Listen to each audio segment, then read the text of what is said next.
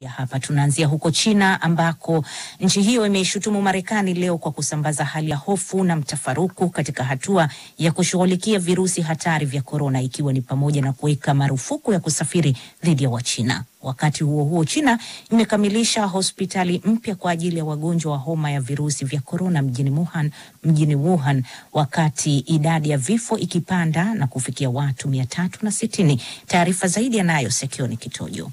Msemaji wa wizara ya mambo ya kigeni nchini China Hua Chunying amesema katika mkutano wa kila siku na waandishi wa habari kuwa Marekani haijatoa msaada wowote wa maana na imekuwa tu ikisambaza hali ya taharuki. Marekani siku ya Ijumaa ilitangaza dharura ya kiafya na marufuku ya muda ya raia wa kigeni kuingia ambao walisafiri kwenda China katika muda wa wiki mbili zilizopita katika hatua ya kujaribu kupambana na kusambaa kwa virusi vya korona.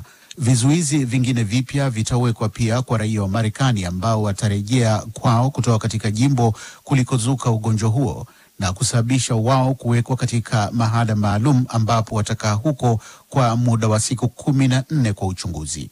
Pamoja na hayo, China imekamilisha ujenzi wa hospitali kwa ajili ya wagonjwa wa virusi hivyo vya korona. Hospitali ya Huoshensham ikimaanisha Mungu wa moto ilijengwa katika muda wa wiki mbili, wakati maafisa wakichukua hatua za haraka kudhibiti kusambaa kwa ugonjwa huo unaoambukizwa kupitia virusi vya korona, ambapo watu kumi na saba elfu nchini humo wameambukizwa. Hospitali hiyo mpya ambayo itakuwa na wauguzi na madaktari elfu moja na mia nne na vitanda elfu moja iko tayari kupokea wagonjwa leo Jumatatu. Mkurugenzi mkuu wa hospitali hiyo Zhang Ziming amekieleza kituo cha utangazaji cha taifa CCTV. China pia imesema inahitaji kwa haraka vifaa vya kitabibu vya kujikinga.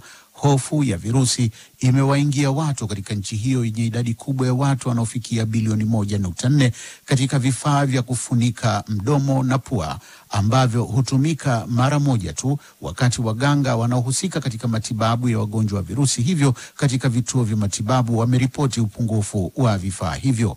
Wakati huo huo, katika mji wa Hong Kong, mamia ya wafanyakazi wa hospitali wameanza mgomo leo kudai serikali ifunge mpaka na China bara ili kuzuia kusambaa kwa virusi vya korona na kupunguza shinikizo katika sekta ya afya.